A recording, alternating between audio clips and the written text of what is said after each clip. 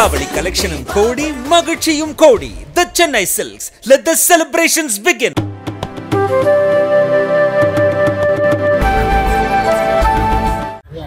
Ilangai அரசு சில அரசியல் அரசியல் தலைவர்களை அழைத்திருந்தார்கள். எல்லோரும் அங்கே பங்கேற்பதற்கு அதில் நேற்று நம்முடைய இந்திய அரசு மிக முக்கியமாக மூன்று விஷயங்களை இலங்கை மலையக தமிழர்களுக்காக அதுல முதல் வந்து இதற்கு முன்பு வேறு வேறு ஃபேஸ்ல நான்காயிரம் வீடுகள் அவர்கள் கட்டி கொடுக்கப்பட்டிருக்கிறது மலையக பகுதியில் நேற்று இந்திய அரசு புதிதாக பத்தாயிரம் வீடுகளுக்கான அடிக்கல் நாட்டு திட்டத்தை நேற்று வந்து நிர்மலா சீதாராமன் அவர்கள் இலங்கை அதிபர் ரணில் விக்ரமசிங்க அவர்கள் இணைந்து துவங்கி ஸோ பத்தாயிரம் வீடுகள் புதிதாக. அப்படின்னா இலங்கை இலங்கையில் இருக்கக்கூடிய நம்முடைய மலைய தமிழ் சொந்தங்களுக்கு மட்டுமே பதினான்காயிரம் வீடுகள் மொத்தமாக வரப்போகுது. இது ஏற்கனவே வடகிழக்கில் கிட்டத்தட்ட ஐம்பதாயிரம் வீடுகள் நாம் கட்டி இரண்டாவது அஹ், Thondaman centre vocational training Thondaman centre for vocational training அது வாஜ்பாய் ஐயா காலத்தில் ஆரம்பிக்கப்பட்டது. அதற்கு இப்போ மறுபடியும் வந்து அதிகமாக ஒரு கிராண்ட் கொடுத்து மலையக பகுதியில் இருக்கக்கூடிய நம்முடைய தமிழ் குழந்தைகள் கம்ப்யூட்டர் ஸ்கில்ஸ் லிட்ரரி ஸ்கில்ஸ் அதை அதிகப்படுத்துவதற்கு ஒரு வாய்ப்பாக நேற்று அதையும் நம்முடைய நிதியமைச்சர் அவர்கள் இலங்கை அதிபரோடு இணைந்து வச்சாங்க. மூன்றாவது மலையக பகுதியில் பத்தாயிரம். அதிகமாக தமிழ் பள்ளிகள் தான் அந்த பத்தாயிரம் அப்பப்போ குழந்தைகளுக்கு ஸ்கூல் பேக் அந்த குழந்தைகளுக்கு சில முக்கியமான பள்ளிகள் இங்கெல்லாம் தண்ணீர் பிரச்சனை ஹார்டு வாட்டரா இருக்கும் மலையக பகுதியில். அவர்களுக்கு ஆர்ஓ பிளான்ட் அதையும் நேற்று நிர்மலா சீதாராமன் அவர்கள் துவங்கி முக்கியமான நிகழ்வு இருநூறு ஆண்டுகள் அவர்கள் கடந்திருந்தாலும் கூட இந்திய அரசு நேற்று மிகப்பெரிய அளவில் இலங்கை அரசோடு இணைந்து அவர்களுக்கு வந்து ஒரு பொருளாதார அடிப்படையில் ஒரு படி முன்னாடி. இரண்டாவது உங்களுடைய கேள்வி இலங்கையினுடைய பொருளாதாரம் முன்னேறி இருக்கா இலங்கையில் எல்லாரும் சொல்றது பொருளாதாரம் நிச்சயமாக முன்னேறி இருக்கிறது கடந்த ஒரு மூன்று மாதங்களாக அடுத்த கட்டத்துக்கு போயிருக்கிறாங்க. எரிபொருள் தட்டுப்பாடு அங்கே கிடையாது. முதல்ல இருந்த மாதிரி மக்கள் யாரும் கூலங்கி இருக்கிறது இல்லை. இயல்பு நிலைமைக்கு திரும்புறது தான் நான் ஒரு சாமானிய மனிதனாக இலங்கையில பார்க்கிறேன். அதே நேரத்துல இன்னைக்கும் இலங்கையில வந்து இந்தியா இந்த கஷ்டமான சூழ்நிலையில இலங்கைக்கு நான்கு பில்லியன் டாலர் நாம உங்களுக்கு உதவி பண்ணியிருக்கோம். லைன் ஆஃப் கிரெடிட்ல நேரடி சப்போர்ட்ல பொருட்கள் இங்கிருந்து அனுப்பி வைத்தது மூலமாக. அது நேற்று கூட இலங்கையினுடைய அதிபர் ஆஹ், ஆஹ், ரணில் விக்ரமசிங்கே அவர்கள் பேசும்பொழுது குறிப்பிட்டாங்க இந்தியா எங்களுக்கு அந்த இக்கட்டான நேரத்தில் உதவி செய்யாமல் இருந்திருந்தால் இன்னைக்கு இலங்கை இந்த மாதிரி இருந்திருக்குமா அப்படிங்கிறது ஒரு சந்தேகம். அதற்காக நம்முடைய பிரதமர் நரேந்திர மோடி அவர்களுக்கு நிர்மலா சீதாராமன் அவர்கள் மூலமாக எனக்கு நன்றியல் கூட தெரிவித்தார். நிச்சயமாக இலங்கை மீண்டு வருகிறது. எந்த ஒரு மாற்றத்திற்கும் இல்லை. அதே நேரத்தில் ஒரு சந்தோஷம். இன்னைக்கு மலையக பகுதியில் இருக்கக்கூடிய நம்முடைய தமிழ் சொந்தங்கள் கல்வியில அனைத்து திட்டத்திலுமே மீண்டும் மேல போயிட்டு இருக்காங்க. குறிப்பாக அவர்களுக்கு நில உரிமை என்பது பெரிய பிரச்சனையா இருந்தது. இலங்கை அதிபர் தன்னுடைய பேச்சுல கிட்டத்தட்ட அவர்களுக்கு பத்து ஆறு சென்ட் நம்முடைய இந்திய ஆறு சென்ட் ஆறு சென்ட் நிலம் கூட ஒருவருக்கு கிடைக்கும். ஆறு சென்ட் நிலத்துல அவங்க வீடு எல்லாமே கிடைக்கும். என்பது போல உறுதிமொழி அளிச்சிருக்கிறாங்க. இது எல்லாமே வரவேற்க வேண்டிய விஷயங்கள். அதே நேரத்துல சமீபத்துல இலங்கை அரசு ஒரு ஆர்டர்ல மலையக தமிழ்ஸ் அப்படிங்கிற ஐடென்டிட்டி வந்து ஸ்ரீலங்கன் தமிழ்ஸ் அப்படின்னு மாற்றுவதற்காக முயற்சி எடுத்தபொழுது அங்கிருந்தவர்கள் குரல் கொடுத்து மறுபடியும் அவர்களுடைய அடையாளமாக மலையக தமிழர்கள் இப்படிதான் இருக்க வேண்டும். அது இந்தியன் ஆரிஜின் தமிழ். ஏன்னா அங்க இருக்கக்கூடிய தமிழர்கள் நேரடியாக இந்தியாவோடு தமிழகத்தோடு தொடர்பு படுத்தி தன்னை பார்த்துக்கலாம். அதற்கும் இலங்கை அரசு செவி சாய்க்கிறது நல்ல விஷயங்கள் நடந்தது இலங்கை தமிழர்களோட ரைட் நடந்து ரைட் ரைட் நடந்து சரிங்களா அது வந்து சட்ட ரீதியாக ஆனா ஈவா வேலு அவர்களை பொறுத்தவரை நம்ம அனைவருக்குமே தெரியும். நான் ஏதாவது சொல்லணும் அப்புறம் அண்ணாமலை சொல்லித்தான் ரைடு வச்சு பேசுவாங்க.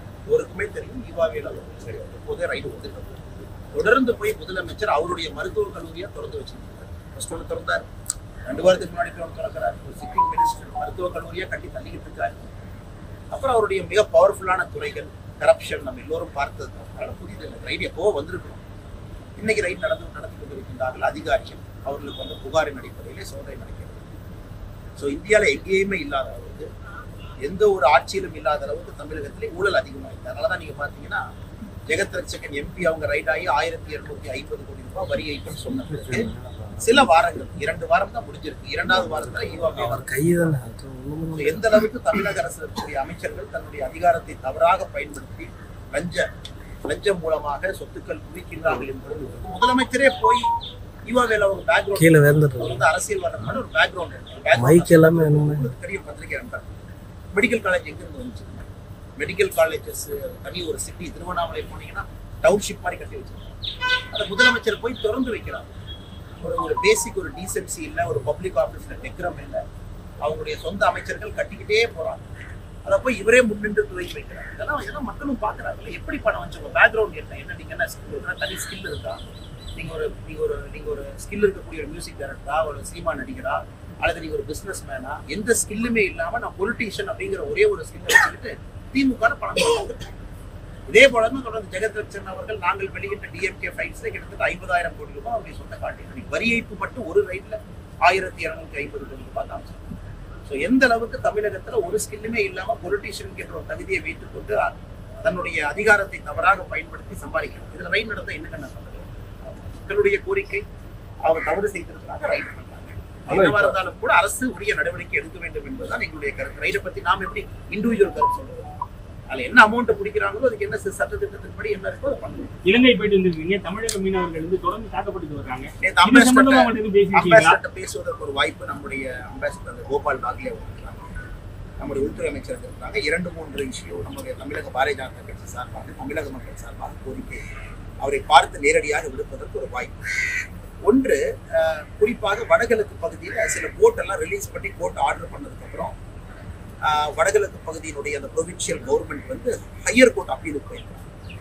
அதை கண்டிப்பாக எதிர்க்க வேண்டும் என்கின்ற நம்முடைய எல்லோருடைய கருத்தும் ஒரு ஒரு வேண்டுகோளாக வைக்கிறேன். அதை எதிர்க்கணும் அந்த அப்பீல ஏன்னா போட்டு லோவர் கோர்ட் ஏன்னா போட்டு தான் நமக்கு பிரச்சனை. லோவர் கோர்ட்டு போட்டை ரிலீஸ் பண்ணணும்னு சொன்னதுக்கப்புறம் மறுபடியும் இலங்கை அரசு அப்பீல் போகும் பொழுது அதை ஏற்றுக்கொள்ள முடியாது. அதற்கு நம்முடைய எம்எஸ்சியிலிருந்து இருந்து எல்லா முயற்சியும் எடுத்துக் கொண்டிருக்கின்றோம். அதற்கான சட்ட திட்டங்களுக்கான வல்லுநர்கள் எல்லாம் இருக்கிறாங்க. இது ஃபர்ஸ்ட் பாட்டு ரெண்டாவது பாட்டு இன்னைக்கு இலங்கை சிறையில் சிறையில எனக்கு இருக்கக்கூடிய மீனவர்கள் போறதுக்கு முன்னாடியே நம்முடைய வெளியுறவுத்துறை அமைச்சர் இணை அமைச்சர் திரு முரளிதரன் அவர்கள்ட்ட தொலைபேசி மூலமாக அஹ், மூன்று நாட்களுக்கு முன்பு அதிகாலையில் நம்ம நைட்டு பேசினேன்.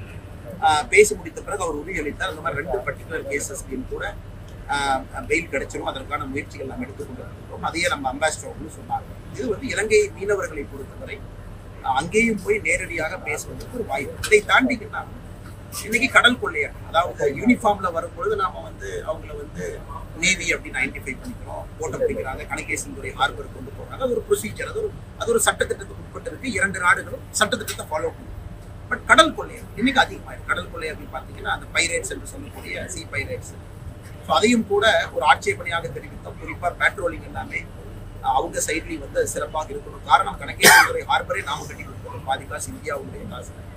அதனால் ஒன்று நம்முடைய இன்னைக்கு ப்ரூட்டல் அட்டாக் ஒரு இரண்டு மூன்று அட்டாக் நம்ம எல்லாருமே பார்த்துருக்கோம் நம்முடைய மீனவர்கள் மீது. அது எந்த ஏன்னா நம்ம வந்து நான் ஒரு சாதாரண மனிதன் தான் நேரடியாக அதிபரை பார்ப்பதற்கு ஒரு வாய்ப்பு இருந்தும் கூட அவரிடம் மரியாதை நிமித்தமாக பேசுவதற்கு வாய்ப்பு தவிர ஒரு சாதாரண மனிதராக நாம் டிப்ளமசி பேசக்கூடாது. அதுக்கு அதிகாரிகள் இருக்கிறாங்க. அதனால் நம்முடைய அம்பாசிடர் மூலமாக தூதுவராக இந்தியாவுடைய குடிமகனாக தமிழகத்தினுடைய குடிமகனாக அவங்ககிட்ட வேண்டுகோள் வைத்திருக்கிறேன் கட்சியின் சார்பாக. என் கூட நம்முடைய சீனியர் பிஜேபி தலைவர்கள் வந்தாங்க சக்கரவர்த்தி என்ன சில தலைவர்கள் வந்தாங்க அவர்களும் என் கூட இருந்தாங்க. ஸோ நல்ல முடிவு விரைவில் கிடைக்கும் என்கிற நம்பிக்கை ஜெயிலிருந்து வேகமாக வேகமா வந்துருவாங்க வெயில வந்துருவாங்க. அதை பற்றி எந்த ஒரு இது இல்லை ப்ரொசீஜர் போயிட்டு இருக்கு. கண்டிப்பா வந்துருவாங்க. அதற்கான முயற்சிகள் நடக்கும். என்னுடைய என்ன வெளிப்பாடு என்னன்னாங்கன்னா கட்சியினுடைய என்ன வெளிப்பாடும் போட்டை வேகமா கொண்டு வரும். அது முக்கியம். போட்டை வேகமா கொண்டு வரணும். ஒரு நூற்றி இருபது போட்டுக்கு மேல இருக்கு. அது இலங்கையில் ஒரு புதிய சட்டத்தை கொண்டு வந்திருக்காங்க. இரண்டாயிரத்தி பதினேழு பதினெட்டு பிறகு. அதாவது ஒரு போட்டு கிடைக்கும் பொழுது அரசு அரசுடைமை ஆக்குவதாக இலங்கையில் ஒரு சட்டம் இருக்கு. அதாவது போட்டை வந்து கவர்மெண்ட்டே எடுத்து ஆப்ஷன் பண்ணி இன்னொருத்தர் கொடுப்பாங்க. இதை பார்த்து மாலத்தீவும் அதே மாதிரி எல்லாமே கண்டினியூ பண்றாங்க. நம்ம தமிழக மீனவர்கள் வந்து தூத்துக்குடியில இருந்து போனவங்க கைது செஞ்சு ரெண்டு கோடி ரூபா அவங்களுக்கு பெனால்ட்டி அது வந்து இதற்கு முன்பு பெனால்ட்டி வந்த பொழுது கூட உங்களுக்கு தெரியும். நிறைய இடத்துல வந்து நம்ம மோடி அவர்கள் நாம அதை ஏற்றிருக்கோம் நாம அதை ஏற்று நம்ம பேசியிருக்கோம். நாம கேரண்டி நாம கொடுத்திருக்கோம். அரசுக்கும் அரசுக்கும் பேச்சுவார்த்தை நடந்திருக்கு மாலத்தீவை பொறுத்தவரை இன்னைக்கு அவங்க வந்து பெனால்ட்டி போட்டு இலங்கையில கூட பாத்தீங்கன்னா பெனால்ட்டி போட்டிருக்காங்க. நம்ம அப்பீல் போய் வைவ் ஆஃப் பண்ணிருக்கோம் இலங்கையிலும் பெனால்ட்டி போடாம அவங்க விடுதலை பண்ணீங்கன்னா ஸ்டிஞ்சன் பெயில் கண்டிஷன் இரண்டு கோடி ரூபாய் இலங்கை ரூபாய்லாம் போட்டிருந்தாங்க. அதையெல்லாம் நம்முடைய எம்பசி வந்து அப்பீல் போய் அதை வெய்வ் ஆஃப் பண்ணிருக்கோம். ஸோ மாலத்தீவிலும் பொறுத்தவரை மீனவர்கள் கட்டுப்படி இருக்காது. அதுக்கு நிச்சயமாக மத்திய அரசு வந்து எடுத்து இந்த விஷயத்தையும் நாம அந்த டெலிஃபோன் காலில் இதையும் பேசணும். டெலிஃபோன் காலில் இதையும் நம்ம பேசணும். எப்படி இலங்கையில வந்து அப்பீல் போய் நாம அந்த பெயில் இரண்டு கோடி ரூபாய் பெயில் ஒருக்க போட்ட பொழுது வெய்வ் ஆஃப் பண்ணமோ அதே போல் நடக்க வேண்டும் என்று நிச்சயமாக எல்லா முயற்சிகளும் நம்முடைய அமைச்சர்களும் அதிகார அதிகாரிகளும் எடுக்கணும் ஆனால் தொடர்ச்சியாக பாஜக தனியாக போட்டியிடுது அதிமுக தனியாக போட்டியிடுறது தற்போது நிலைப்பாடாக இருக்கு. ஆனா தொடர்ச்சியா திமுக தலைவர் ஸ்டாலின் என்ன சொல்றாரு உங்க ரெண்டு பேருக்கு கள்ள தொடர்பு இருக்கு கள்ள உறவு இருக்கு. இது மாதிரி தொடர்ச்சியா பேசுறது இதை பத்தி உங்க கருத்து நான் முதல்ல இருந்து தெளிவா சொல்றேன். நான் இன்னைக்கு பாரதிய ஜனதா கட்சி நீங்க எலெக்ஷன் அனௌன்ஸ் பண்றது நீங்க தான் முதல் கேள்வி பத்து பத்து வருஷம் நீங்கள் ஆட்சியில் இருந்ததுக்கு ரிப்போர்ட் கார்டு கொடுங்க. திருச்சிக்கு என்ன பண்ணிருக்கீங்க? தமிழ்நாட்டுக்கு என்ன பண்ணிருக்கீங்க? நீங்கள் சொல்லுங்க நான் மாநில தலைவரான்னு கேட்பீங்க. கொடுப்பது எங்களுடைய கடமை. கேட்பது உங்களுடைய தார்மீக உரிமை.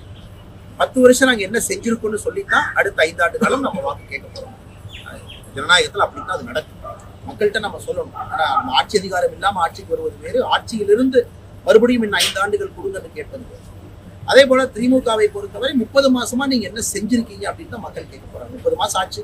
தேர்தல் வாக்குறுதி ஐநூத்தி பதினொன்று கொடுத்துருக்கீங்க என்ன பண்ணீங்கன்னு சொல்லுங்க. ஸோ முதல்ல இருந்து தெளிவாக நான் சொல்லிக் கொண்டிருக்கின்றேன்.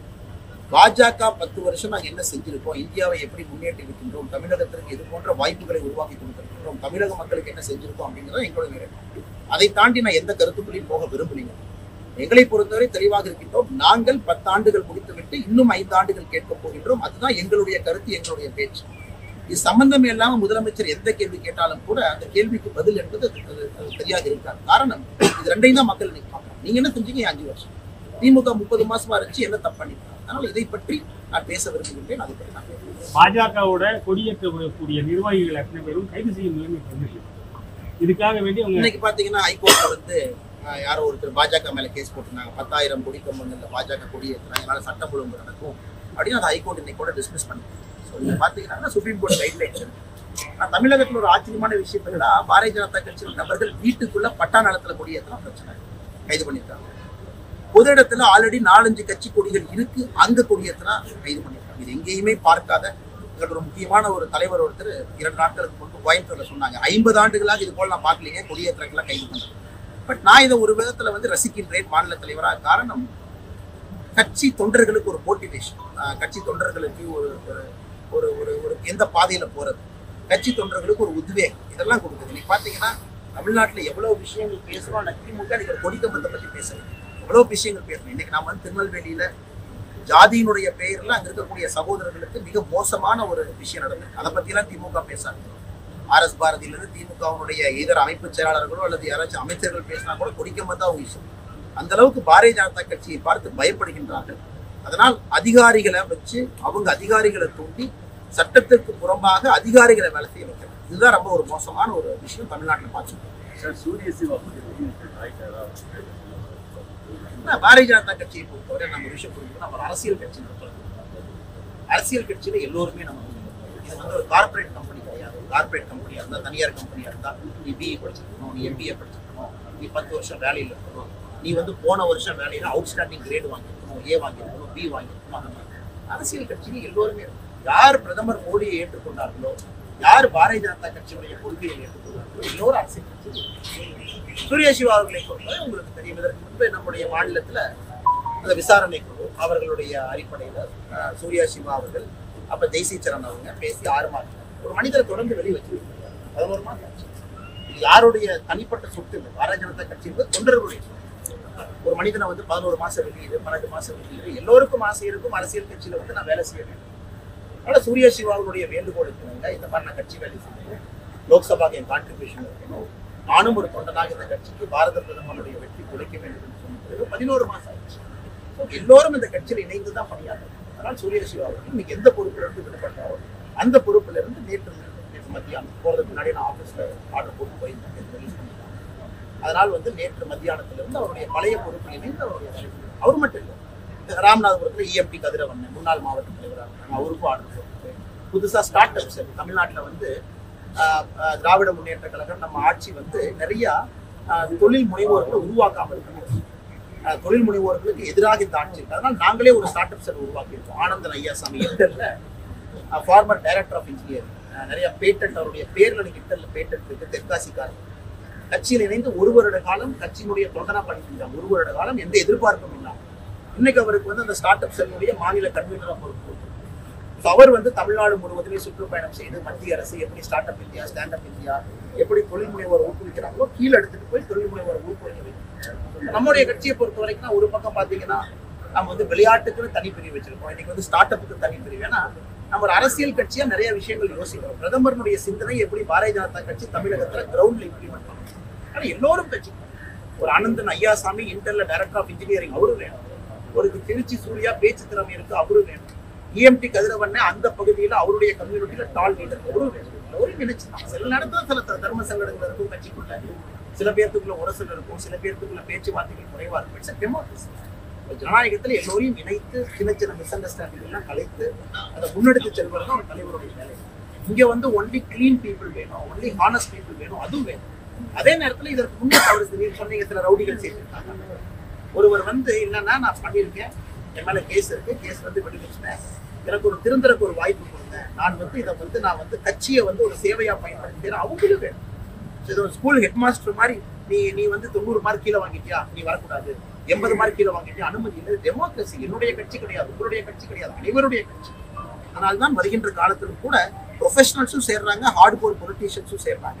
அப்படிதான் நான் இந்த அரசியல் இயக்கத்தினுடைய வளர்ச்சியை பார்க்குறேன். இப்ப நாடாளுமன்ற தேர்தல் வரப்போது பெரிய கட்சிகள் ஏதாச்சும் நம்ம கூட்டணி வாங்க வாய்ப்பு அதை பற்றி நேரம் வரும்பொழுது பேசுவாங்க. நான் காரணம் இப்ப அஞ்சு மாநிலத்தினுடைய தேர்தல் பாரதிய ஜனதா கட்சியை பொறுத்தவரை ஒரு குறுகிய பார்வை பார்க்காம எப்பொழுதுமே நம்ம அகல பார்வையில தான் பார்ப்போம். தேசிய கட்சி நம்ம அகலமா பார்ப்போம். ஒரு ஒரு ஒயிட் ஸ்ப்ரெட் ஆங்கிள் பார்ப்போம். எப்படி இந்தியா இருக்கு எப்படி இந்தியாவுடைய தேர்தல் களம் ஷேப் ஆகுது. இன்னைக்கு டிசம்பர் மூன்று ஐந்து மாநிலங்களுடைய தேர்தல் முடிவுகள் வரது இன்னைக்கு பாத்தீங்கன்னா நேற்று நிதிஷ்குமார் சொல்றாங்க இந்தி கூட்டணினால என்ன பிரயோஜனம் அப்படிங்கிறார். எலெக்ஷன் வந்ததுக்கு அப்புறம் காங்கிரஸ்காரன் எலெக்ஷன் போயிட்டான். இந்தி கூட்டணி எதுவுமே நடக்கல. பிரசாந்த் கிஷோர் சென்னையில பேசுறது மூணு நாளைக்கு முன்னாடி.